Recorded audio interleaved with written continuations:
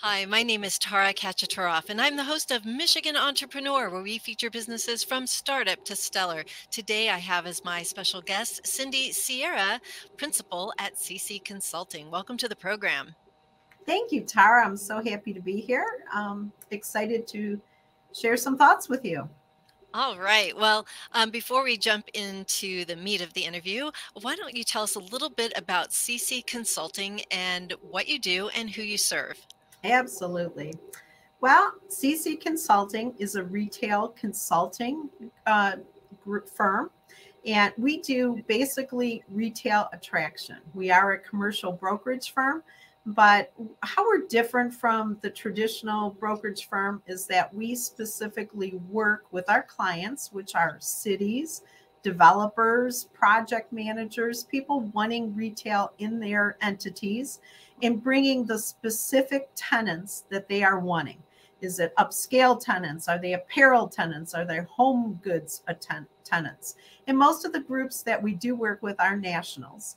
And uh, we do a, a, you know, we'd like to think we do a fabulous job at, at creating the type of projects that our clients are wanting to have. Now, what's one thing that's really interesting is you are in commercial real estate, which, of course, historically has been um, dominated by males. How has it been as you've uh, you know moved to, through your career right um, and and gotten to this point of creating cc consulting what's that journey been like as a woman in this right. particular industry well, you're absolutely right, Tara. When I started, and I've been uh, doing this type of work in commercial real estate for, you know, about the better part of 25 plus years, um, there were very few men in the industry. It just, uh, for whatever reason, and it, it's not an easy industry, it's a tough industry. It's not for the faint of heart. Um, and I can recall, you know, being young and out of college, and I'd sit in these meetings, and it was basically, you know, 99% men and myself. And I laugh because, yes, the industry has changed dramatically. There are more women in commercial real estate, but not as many as you would think. Um, so I would say I went from 99%, you know, 25 years ago to, you know, I, I would say women make up probably 10% of the industry now. So it is still a very male dominated field.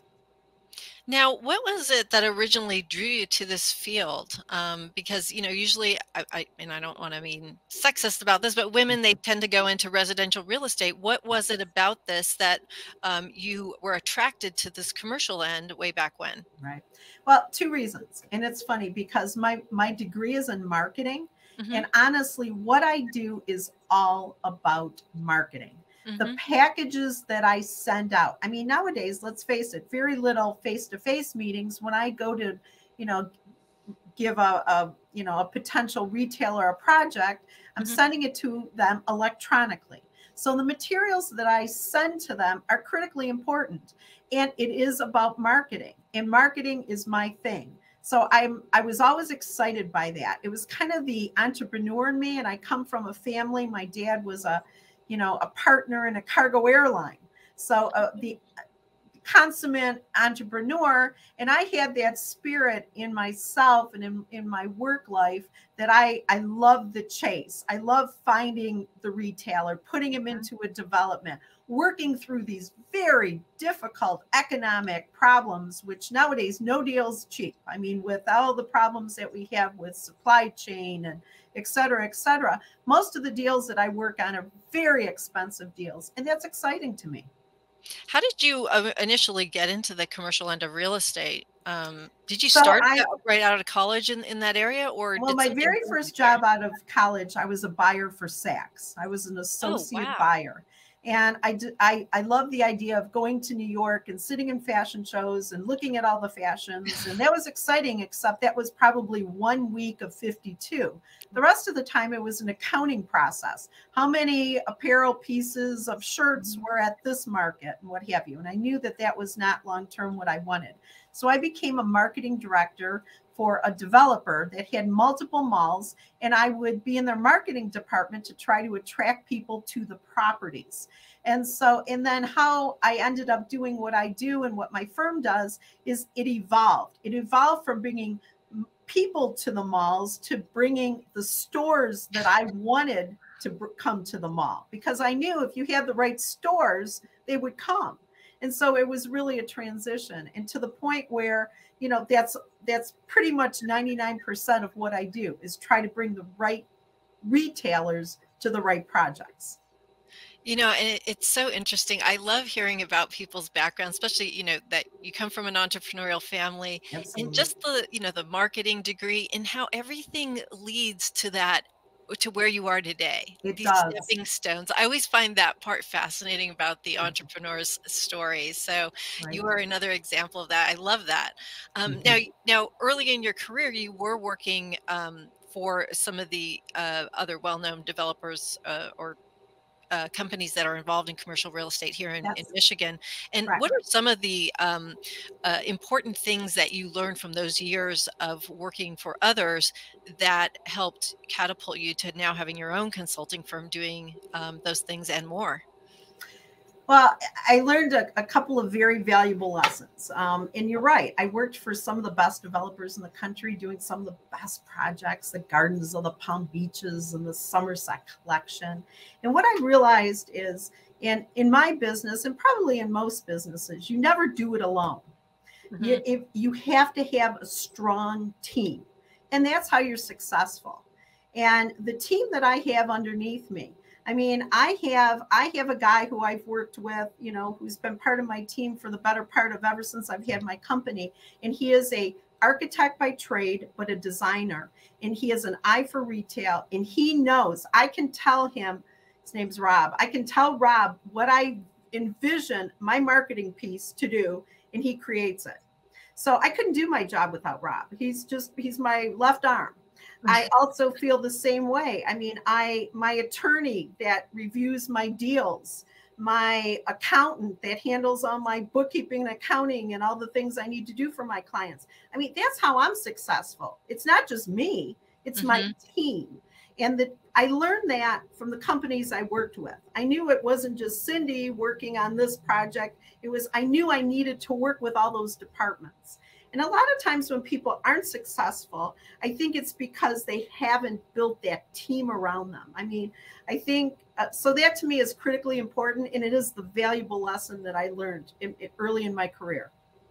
And I really applaud you for um, for talking about that because a lot of times uh, people they I know they know their team is really valuable, but I love that you surface that and Absolutely. you you make it important because it is important to you and for so many reasons and I, I love that you shared the different people that are on your team that are making together you're absolutely all so much better off for it so oh that's great i love hearing that mm-hmm. um, and and just an interesting background about rob just the fact that he's got these skills in other areas but there's a richness that and depth that you know that brings something else to the mix and that energy really you know helps push other things forward in different ways because Absolutely. our backgrounds are so important. Even if they're not related to real estate, that's right. Bringing something that's like making a difference to the team. There's no question about that.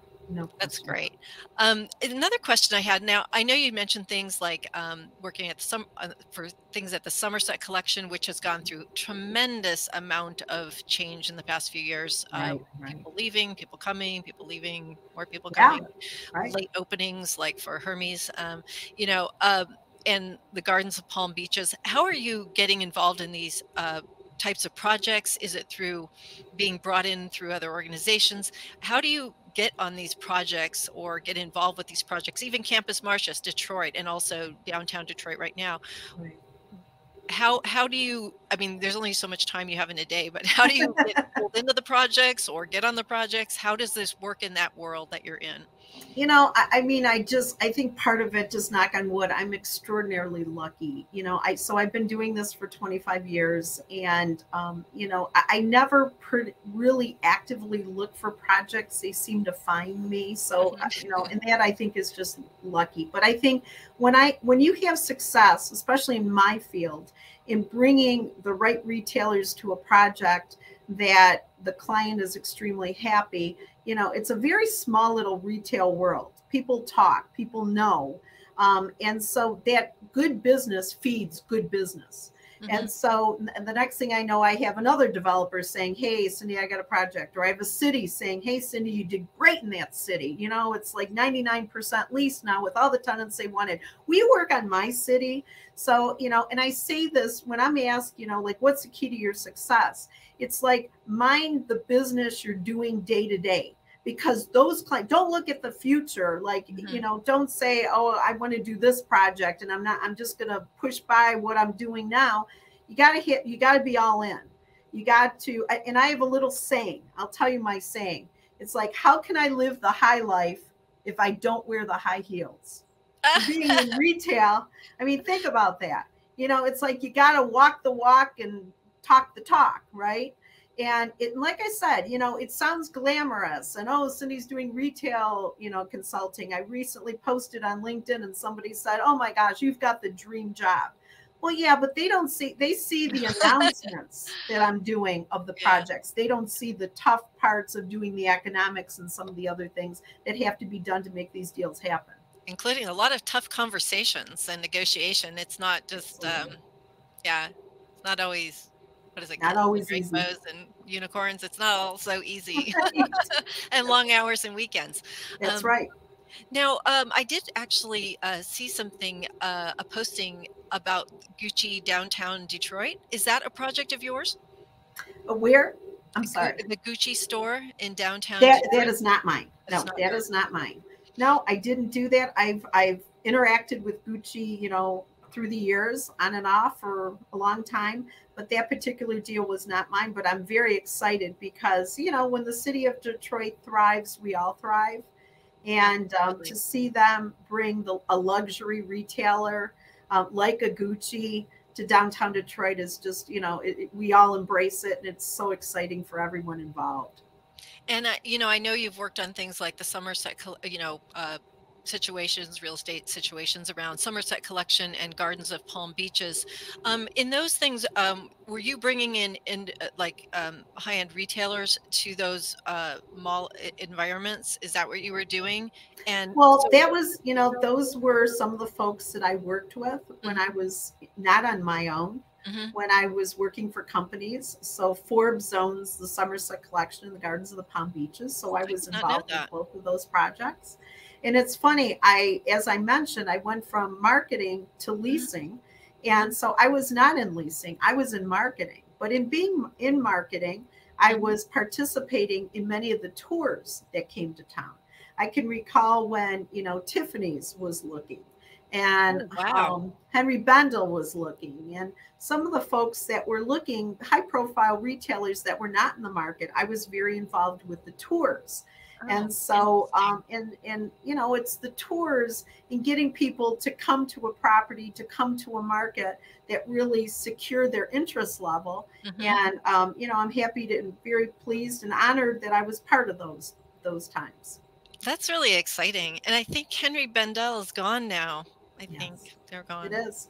Yes. it's been like a year. Yeah i right. A lot of changes that a lot of changes in retail. Absolutely yeah. So speaking about those changes, um, what is how has that changed? How has the past three years changed? Uh, we kind of see what the environment how it's changed, but how has it changed your approach to doing business, if it has, or how has it changed your focus of of things? What what is it? What is it? What's changed for you on your end? Well, I mean, the interesting thing and the thing, you know, a lot of people have said, oh, brick and mortar is going away and everything, we're going to buy everything online. And I'm not. You know, I think the one thing that it's proven is that, you know, brick and mortar retail is never going away. I mean, cities are going to fill their cities with retailers because people like to go there and like to shop and it's an experience. And retail as a whole is a tactile experience. Um, you can't do that online. I mean, I am because of the amount of hours that I work, I'm an online shopper. I'll admit that. But one third of everything that I buy, I return because it doesn't look like the merchandise. It doesn't have the same fabric that it looks like online. It doesn't fit like it should. Uh, we all know that. And you know, if but I but if I go to a brick and mortar store and I try something on and I buy it and I bring it home, I mean that is an experience. And I think in our world today, um, you know, where we're spending so much time online, we're working online, we're doing so much of our business online and Zoom. What an experience. We want to go out. We, we don't want to stay home in front of our computer screen all the time. And I think that's why mixed use developments are extremely successful today. The malls, the A malls, the malls are never going to go away. I mean, it's just they're evolving, there's new tenants um, but they'll continue to um, you know to evolve and to get stronger really. Um, and then the other thing that's interesting to say is a lot of the weaker retailers went away but that isn't necessarily a bad thing because it it it, it kind of it, it it thinned the herd right?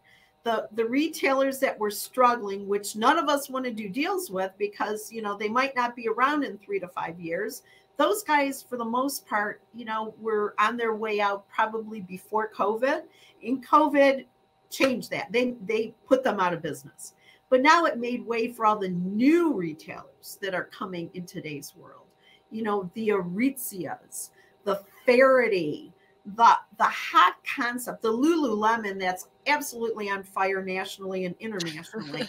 for those brands to just accelerate their business to you know speed up their growth it's exciting. I mean it's all these new and, and in many cases some of these retailers were brick and mortar were online that have, are moving into brick and mortar Oh wow, that's interesting. It is. That's interesting. And I, it's also it's also hopeful to hear from your perspective um, that you don't see these things going away because you know I was con- quite concerned as I'd walk through Somerset and just see empty after empty after Yeah. empty and wondering like, is this mall going to go under or, you know, um, it's uh, you know because I, I everybody i'm sure was very concerned but i can't imagine people spending the rest of their life indoors No, pressing keys to buy stuff. I can't do it. I have to be there and try things on and it's absolutely. miserable to do that but i have to. I can't buy any clothing No, online. It doesn't work for me.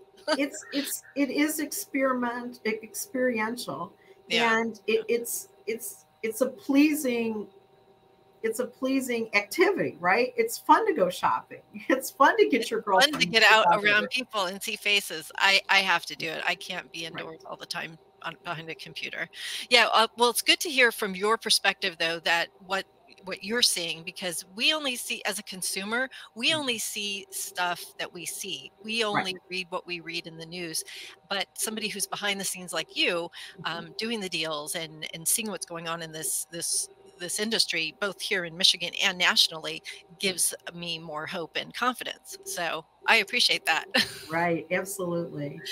Um, so is there um, one project that you've worked on recently that you're you're free to talk about or in general talk about that you are really proud of? Um, and what was it about that product project that stood out as meaningful for you Well, I think especially, you know, we're talking about this particular market, the metropolitan Detroit. Um, I started working, the city of Birmingham um, put out an RFP three and a half years ago. And they had worked with a variety of different brokers and retail consultants and what have you. But, um, you know, they, you know, I was interested in, you know, pitching my business, which I ultimately got the business. And so the city of Birmingham, when I started working with them three years ago, they had a fair amount of vacancy. Mhm. Um, the rent rental rates were going up dramatically, and some of the mom and pops were struggling to make the rents. And so, um, so I took the client on three over three years ago, three and a half years ago. And during that time, which let's face it, we went through COVID. I I did seven or eight national deals, and um, in big deals in some cases, like the Crate and Barrel, the CB2 store. I had I had tried to bring CB2 when I was doing work in downtown Detroit unsuccessfully. I mean, they thought they wanted to be down there, but at the end of the day, they didn't come to downtown Detroit. So I wanted CB2 and I, I wanted Crate and Barrel, but I wanted that CB2 urban concept. And they're a phenomenal retailer. And so, and I got them. I got them to come to the corner of Maple and Woodward. And and that deal helped other deals. and deals like Brilliant Earth. Brilliant Earth is a new jewelry concept coming on board, looking at the best of the best cities in the country, and it's sustainable diamonds, and you know that are all, um, you know, created. I mean, it's just a lot of these new concepts are coming on board, and they, and they did much of their business, even though they were a jewelry store, online. And so Brilliant Earth came, and Faherty came, and Evereve uh, decided to do a larger store and State and Liberty, which is like a Lululemon for men concept that was looking in DC and LA and whatever, they came. So, you know, retailers like to come as a group. It's are a herd coming, mentality. Are those coming into Birmingham? All of them. I saw this and too. in like, oh fact, gosh, um, yeah. I can announce this. CB2 is going to be open. They've had delays. They were supposed to be open last fall. They've had tremendous delays with all the supply chain issues. But um, February 16th, they're going to be open. So oh, in downtown wow. So Birmingham. that's are the old Panera bread. correct. Yeah. And, Oh, and the stores on either side as well. So, but I mean, the city of Birmingham is a different city than it was three years ago. And I will take some of that credit. Obviously, not all of it. But um, I will credit, take some credit because it has transformed the city. And Wow. now, for the landlord side, the rents are very expensive. I mean, the rents are in the 60s to $70 a foot. It's expensive and um, you know but but the benefit is we've got an amazing tenant mix that you know I, I look at all the cities in the midwest and we compare with all and and i think um, birmingham is going to be thriving over the next many years That is great to hear. Um, we walk down there regularly, and I just I, I haven't really well not in the winter, but I, I actually didn't realize CB2 was Crate and Barrel. I did not know that. I was driving by, I didn't know what it was. It's like, oh, that's great. Although I miss the Panera bread, I used to like to eat there. So, oh my gosh, I didn't know those were your projects. That's fantastic. Yes, yes. Wow. So I Well, mean, um, congratulations. so that that is that is a a project I can say I'm particularly proud of. And in in you asked me, you know, how I look for new business or how new business finds me. Um, who came to me because of my work in Birmingham was downtown Naples, Florida. So Oh, I wow. chuckle because here's this lady that is based out of Bloomfield Hills, Michigan, and she is the person that is, you know, leading the charge on the shopping in downtown Naples, Florida.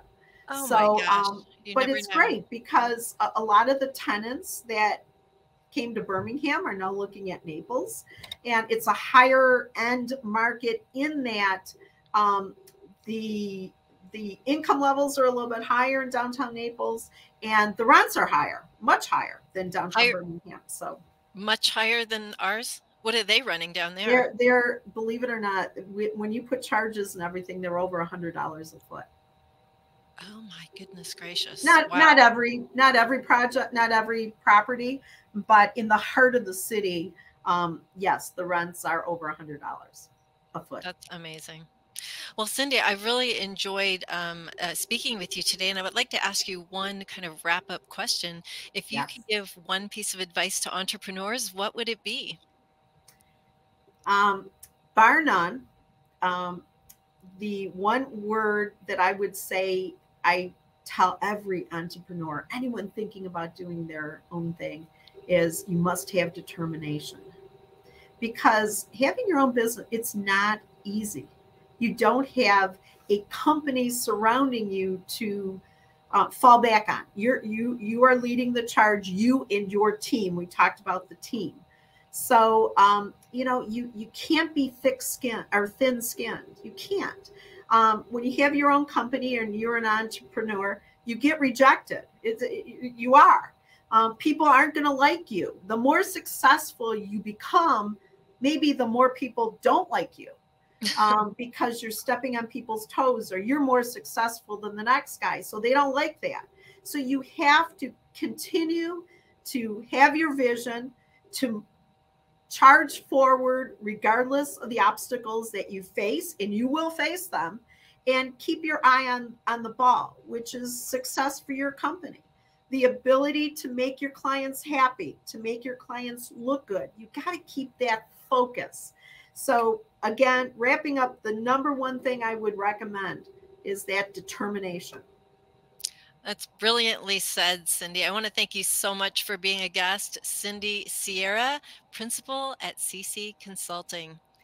If you'd like more information about our program, please visit us at www.michiganentrepreneurtv.com. Please join me again in the future when I interview another enterprising entrepreneur. Until then, wishing you the best of business.